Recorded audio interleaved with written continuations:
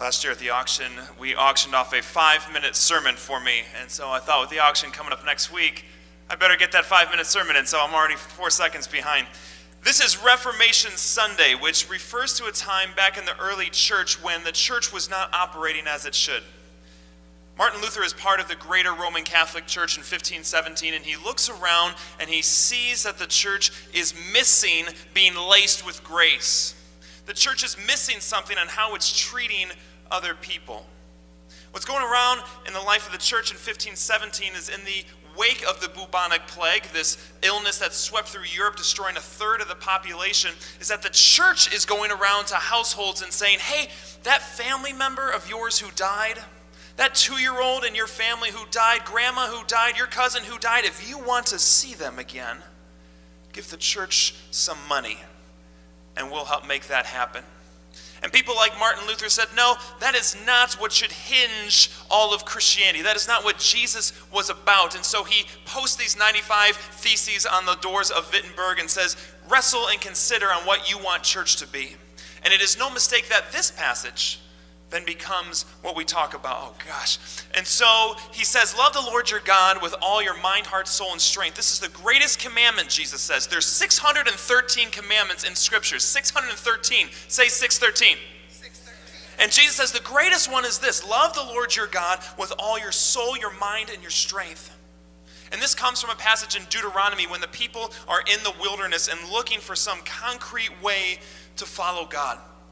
And so Jesus, think about this, says the first thing, the best thing, the greatest thing that you can do to follow God is to love Him with all of your mind, with all of your heart, with all of your soul or strength. Think of the balance that this represents. What if you loved God with this balance? What if you loved God with all of your mind?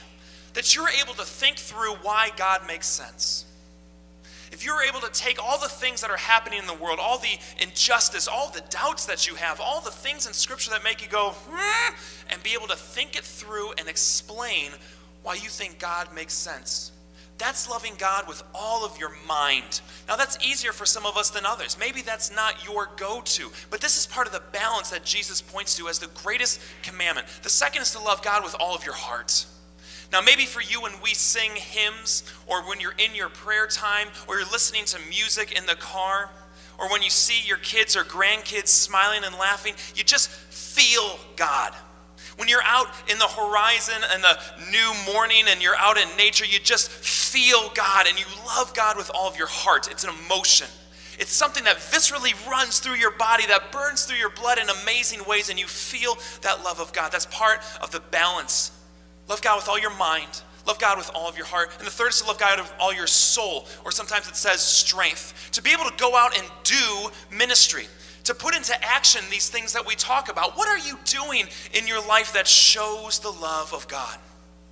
We might call it hand faith. What service events, what volunteer opportunities, what charitable donations, what ways are you going out and living out God in a hand faith kind of way? And so Jesus says the greatest commandment is to have this balance of loving God with your mind that you can think through why God makes sense and articulate it. To love God with all of your heart, to have this feeling, this passion that you know God is around you, and to live it out with all of your soul or your strength. To find this balance is important for Jesus. And then he says the second greatest commandment, notice he's not asked this in Scripture. the second greatest commandment is this to love your neighbor as yourself. What I think Jesus is doing here from a group of people who is trying to trap him, from a group of people who are trying to say church is not laced with grace, is he's making a if then statement. Jesus making an if this, then this. If you love God with all of your mind and all of your heart and all of your soul or strength, then you should love your neighbor as yourself. If you can find that balance, if you wrestle through and try to live out ways that maybe you're not loving God with your heart, or maybe there's ways that you're not loving God in the community with your soul, with your strength, or you haven't thought through why God makes sense, then when you find that balance, you will be able to love your neighbor as yourself. Because that's the point of ministry, right?